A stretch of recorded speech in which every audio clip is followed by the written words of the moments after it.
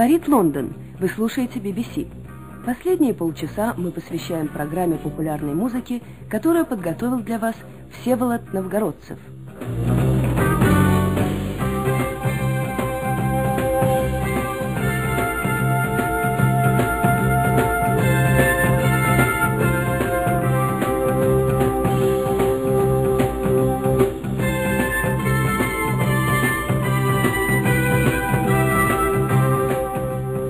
Добрый вечер, дорогие друзья! Сегодняшняя программа посвящена вашим письмам и заявкам. Должен заметить, что составлять ее становится все труднее. Хороших писем много, какие включать, какие нет. Ведь вы для меня что пальцы на руке, какой не укуси, все больно. Пишет мне Костя из Киева. «Привет, Всеволод. Начинаю так бесцеремонно, потому что причисляю себя к старым знакомым. Правда, знакомство это было односторонним, но, по-моему, это не имеет никакого значения». У меня к тебе, Всеволод, есть серьезный разговор. Не кажется ли тебе, что ты ведешь слишком беззаботный образ жизни, уделяя поп-музыке преступно мало времени, всего полчаса в неделю? Предлагаю продлить передачу до часа. Думаю, что все мои соотечественники будут от этого в восторге. За это время ты успел бы ответить на вопросы ребят и выполнить их заявки. Что ж, правильно мыслишь, Костя. Дельные вещи предлагаешь. Такие письма я обычно начальству почитать даю. Пусть голос народа слышит. Но и начальство, хоть оно много может, но не все. А компания у нас большая, по всему свету вещает чуть не на сорока языках. В столовку в обед придешь, а там чистый интернационал. Так что если полчаса добавить нам, то их у какой-нибудь хорошей страны отнять надо. А разные страны на нас уже ворчат. От вас, русских, говорят, и так житья никакого нету. Так что, Костя, попс – дело тонкое, политическое за раз не организуешь. Еще, Костя, ты пишешь. Всеволод, если встретишь Элтона Джона, передай, что я на него сильно обижен, потому что достать билеты на его концерт так и не смог. Обижаться, Костя, на него не стоит, потому что ответ ты прислал на викторину правильный. Элтон Джон, песня «Даниэль».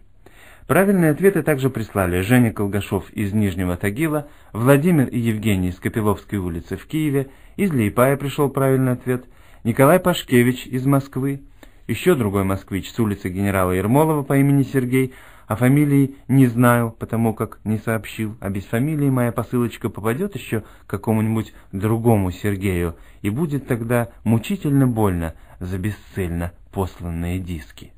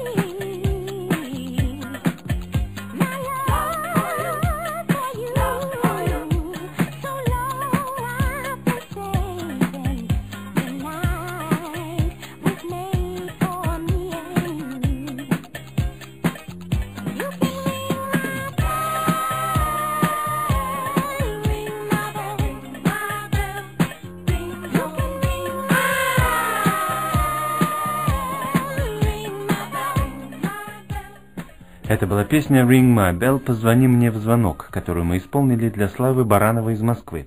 Он пишет.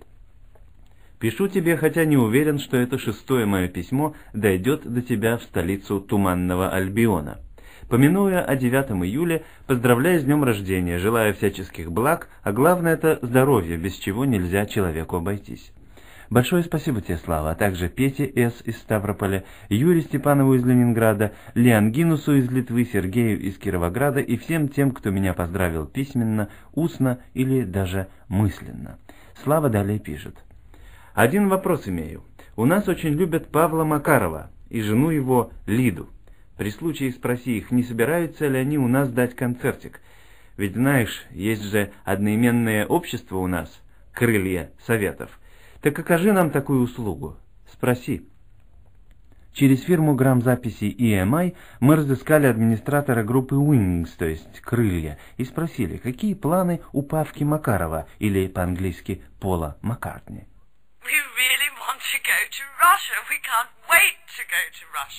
С удовольствием, с удовольствием поехали бы ребята в СССР. Переговоры с госконцертом ведет Гарви Голдсмит, тот самый, который договорился о концертах Элтона Джона. Но пока определенного сказать ничего нельзя. Правду знает один только человек – госконцерт. Вот ему и пишите письма трудящихся.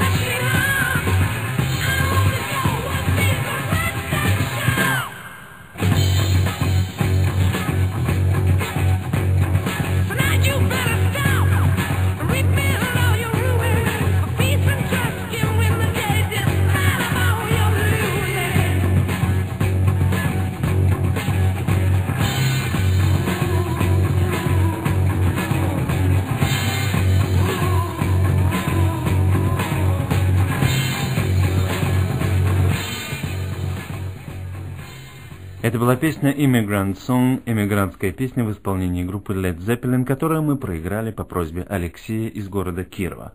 Он пишет. Здравствуйте, мистер Сева. Спешим поздравить вас с днем рождения и пожелать всяческих благ. Привет с берегов живописной и полноводной реки Вятки. Прежде всего о ваших передачах BBC. Для ознакомления с политическими событиями в стране и в мире нам вполне достаточно регулярного просмотра программы «Время» и прочтения газет «Комсомольская правда» и «Кировская правда», поэтому мы игнорируем политические передачи BBC.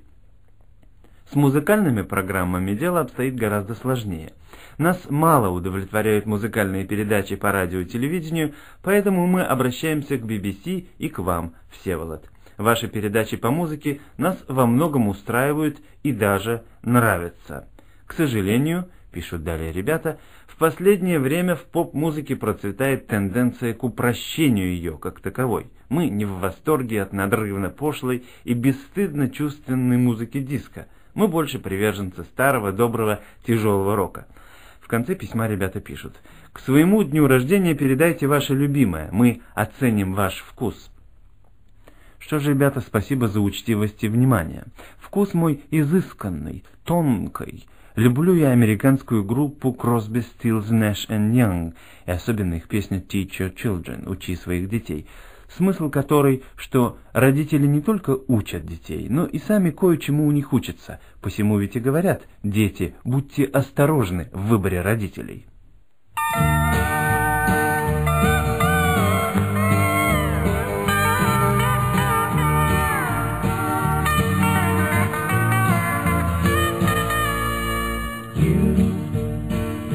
are on the road must have a code that you can live by.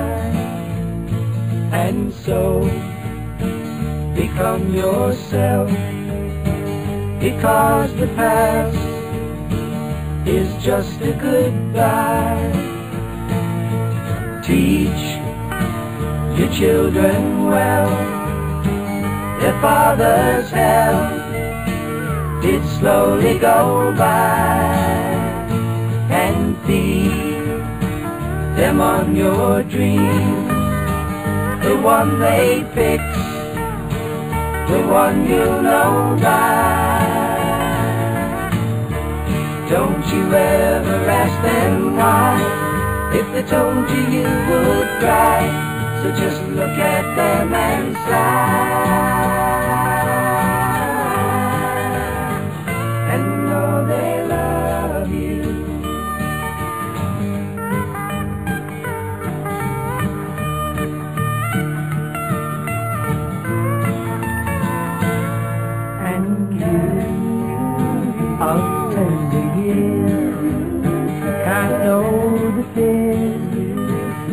Your elders grew wise, and so please help them with your youth. They see the truth before they can die.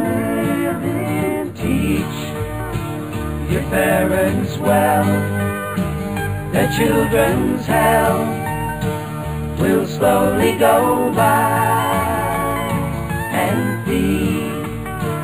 Them on your dream. The one they fix, the one you know by. Don't you ever ask them why. If they told you, you would cry. So just look at them and sigh.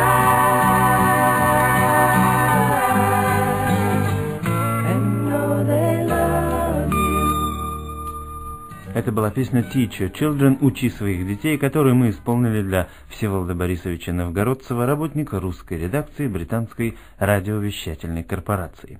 В предыдущем письме ребята из города Кирова назвали музыку диска надрывно пошлой и бесстыдно чувственной. Однако не все считают, что она уж такая надрывно чувственная. Вот, например, Виктор из Терлитамака просит исполнить что-нибудь из Глории Гейнер, Фиби Сноу или, на худой конец, сообразно с другими заявками, какой-нибудь лирический диско-номер. А Валерий и Юрий из Ставрополя шлют важную новость. «У нас, — пишут они, — открыли комсомольскую дискотеку». Замечательное начинание. Но почему же именно комсомольскую? Откуда такая узкая ведомственность? Ведь пиво уже давно продают не только членам профсоюза.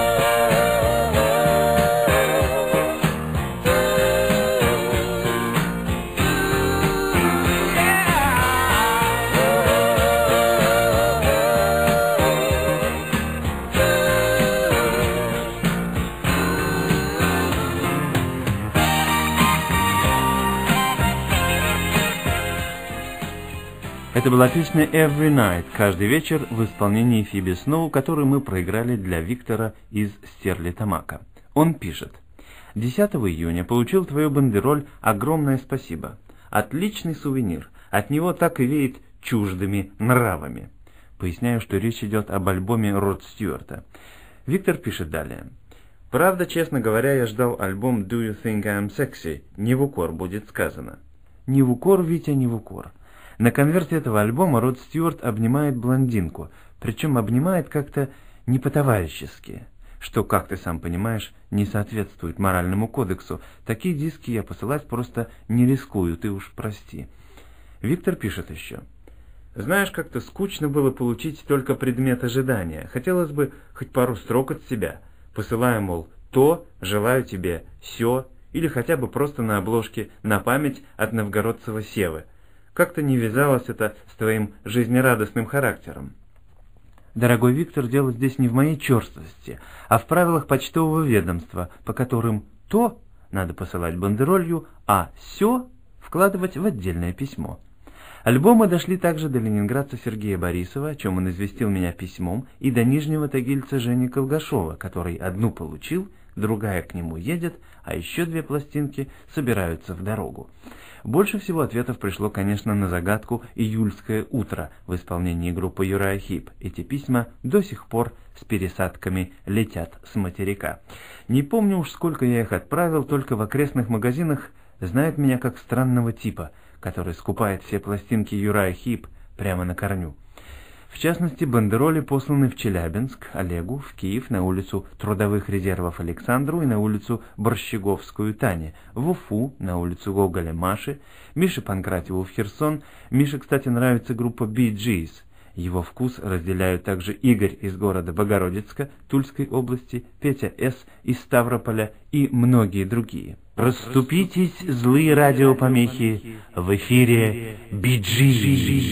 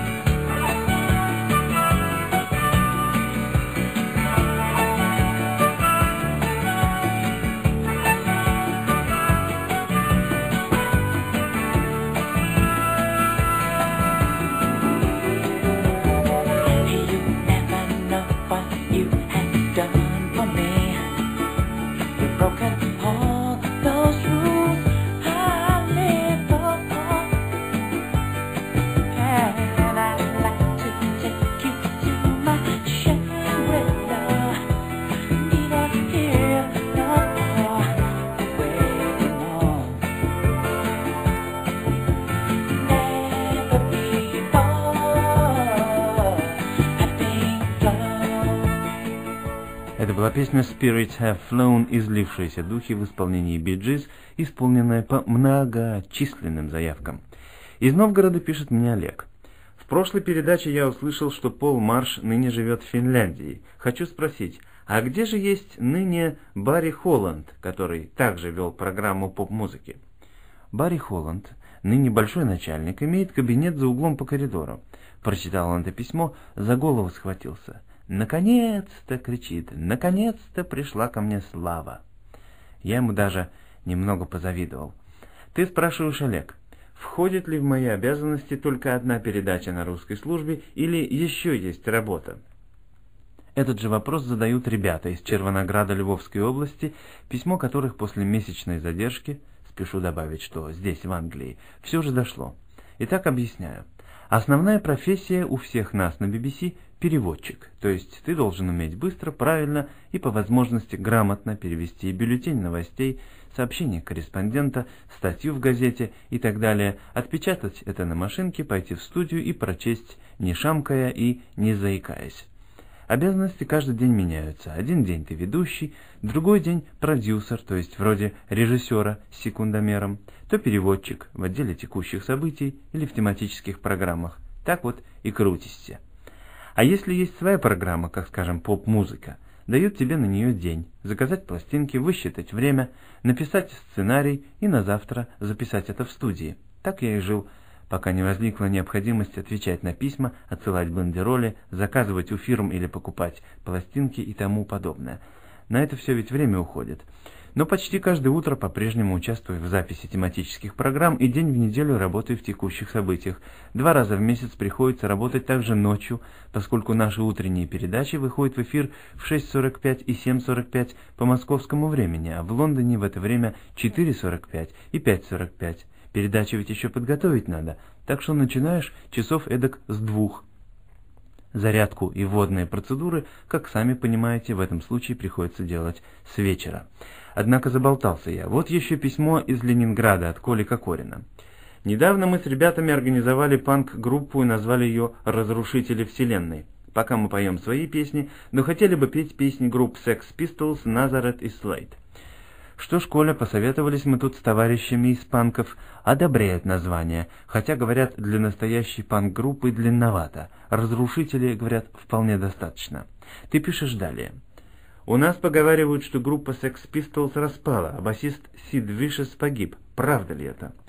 Сид Вишес умер, но дело его живет. Группа не распалась, хотя одна из главных ее групп, Сид Вишес, то есть Сид Порочный, летом прошлого года во время гастролей в Нью-Йорке, будучи не в себе, ранил свою девушку ножом, а потом сам с горя наглотался каких-то таблеток, да и помер.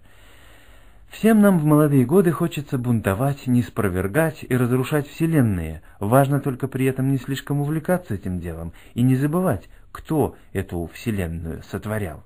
Итак, по просьбе Коли, а также всех других любителей панк-рока, группа Sex Pistols и песня Pretty Waken довольно пустой.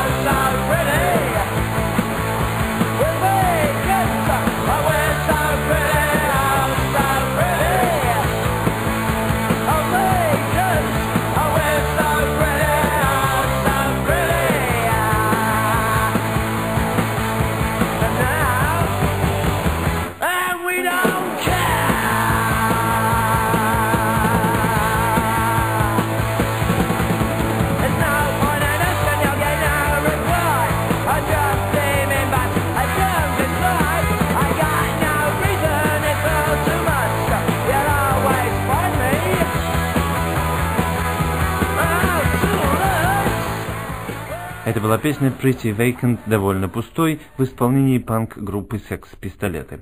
В заключении программы хочу еще раз напомнить всем, кто пишет и посылает телеграммы, сообщайте полный обратный адрес. Не утаивайте ни номер дома, ни название улицы, ни своей фамилии. Дело, конечно, хозяйское, но по неполному адресу я посылать бандероли воздерживаюсь до полного выяснения такового.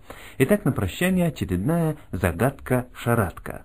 В трехдневный срок сообщите мне название песни и группу, наш адрес Всеволод Новгородцев, Post Office Box 76, Лондон, повторяю, Всеволод Новгородцев, Post Office Box 76, Лондон. До будущих встреч. South